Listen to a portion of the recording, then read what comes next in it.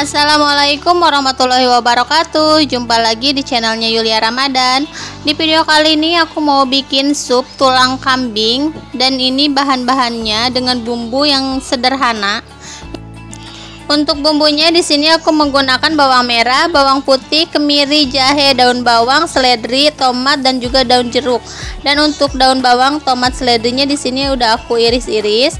Di sini juga aku pakai ladaku sama penyedap rasa dan ini tulang kambingnya yang udah aku potong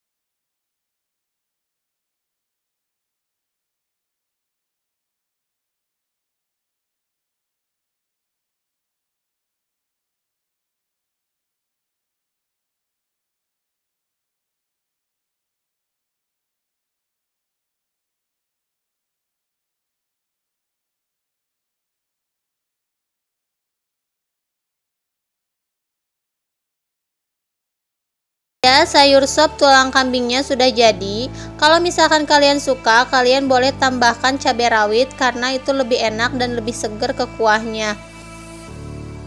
Segitu aja video dari aku kali ini. Terima kasih buat kalian semua yang udah menonton dan yang baru gabung di channel aku. Jangan lupa untuk klik tombol subscribe-nya dan juga nyalakan notifikasinya biar kalian semua gak ketinggalan video-video terbaru dari aku.